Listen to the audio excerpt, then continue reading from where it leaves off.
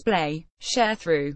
Soompi.1x1 Choi Min-soo is set to bring more troubles for Lee Joon-gi and Seo Ye-ji and new stills for TVN's weekend drama Lawless Lawyer.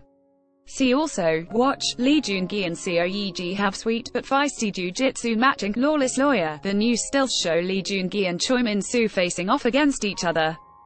Lee Joon-gi looks like he's ready to explode with rage as he understands the trouble he is in, while Choi Min-soo smirks and looks amused as he looks at how his actions are affecting Lee Joon-gi. Soompi. Display, News. English .300x250, BTF Soompi.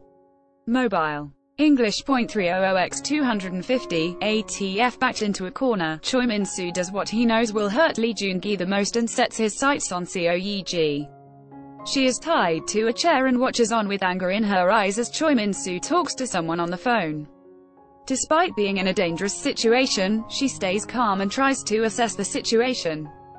The production staff stated, the scene shown in the stills is Ahn Oh-joo, Choi Min-soo's last attack to take down Bong Sang-pil, Lee Joon-gi, as he is backed into a corner.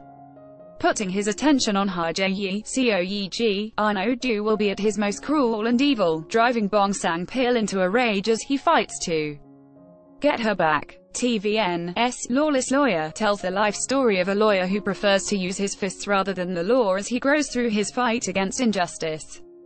The drama airs every Saturday and Sunday at 9 p.m. KST. Catch the first episode below.